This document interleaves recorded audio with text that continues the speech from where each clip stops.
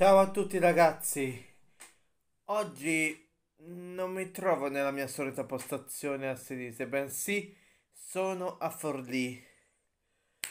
Ciononostante voglio fare comunque una recensione.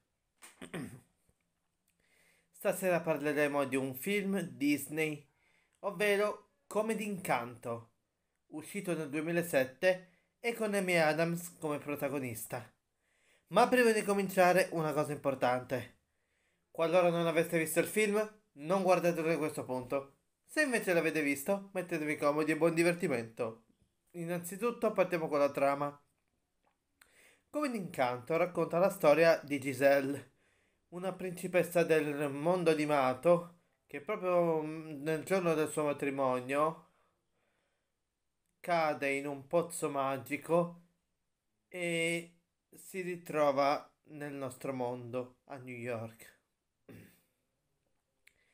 Lì incontrerà un avvocato di nome Robert e tra i loro nascerà una grande intesa. Ma quando la perfida regina Narissa arriva nel nostro mondo per cercare di di uccidere Giselle, il principe Edward, che è il promesso sposo di Giselle, dovrà salvare Giselle e far tornare tutto come la prima. Bene, passata la trama, vi mostro la mia opinione. Allora, vi posso confessare che come d'incanto è il mio film Disney più preferito di tutti i tempi.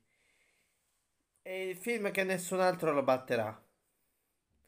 Perché ha una storia veramente molto molto ben equilibrata. Le scene mm, cantate sono molto perfettamente ben coreografate. Il montaggio è ottimo ha una musica bella composta dal grande Alan Menken. E le canzoni sono tutte belle. In conclusione posso dire che come d'incanto è un film eh, che risulta azzeccato in ogni suo aspetto. E sarei un pazzo a non consigliarlo alle nuove generazioni di oggi mentre per chi ovviamente già lo conoscesse, lo invito a riguardarselo. E niente, io adesso gli, gli do la mia votazione numerica.